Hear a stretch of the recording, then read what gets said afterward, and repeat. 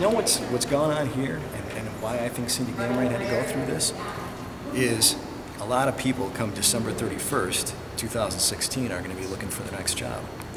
Quickly, could we just ask her how she's feeling at this juncture, Mrs. Gamrat, please?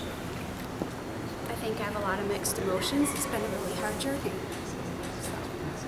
And I told you that's all you can say.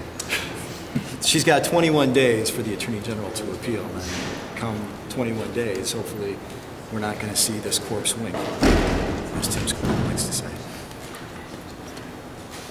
Besides waiting for that 21 days, is there anything else you'll do on this case? Well, she's got to get her formal order of dismissal and the document canceling her bond, because as many people know, when you are charged with a felony, you lose certain rights right away.